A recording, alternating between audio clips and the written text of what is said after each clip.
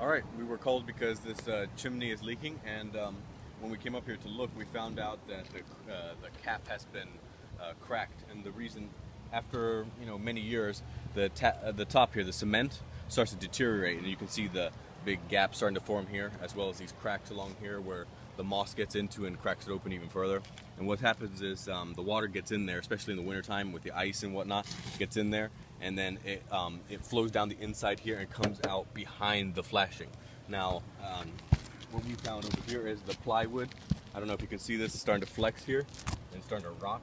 So all this down here is now, you know, in jeopardy because of this cap here being cracked. So what I'm going to do today is I'm going to um, I'm to put our membrane over like this, uh, we're going to form it and adhere it straight to this and uh, down to the sides here, covering this cap um, entirely. So to stop the deterioration and to keep it together. Um, so that's how that's what I'm going to be showing you today.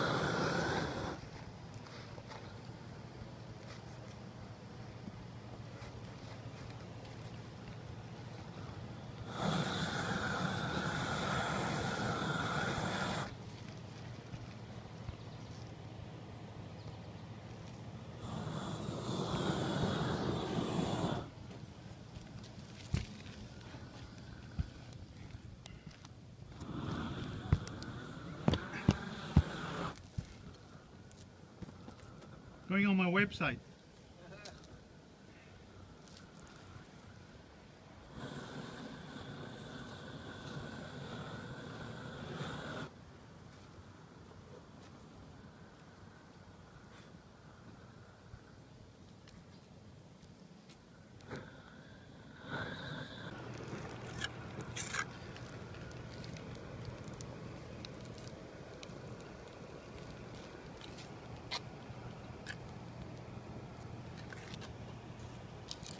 See what you're doing, you seal them that one?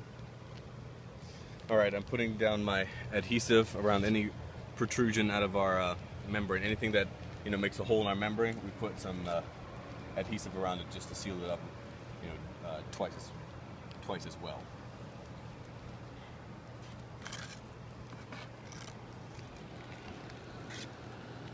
Okay. You on? All right, and that's it. That should uh, that should seal up that chimney cap really nice.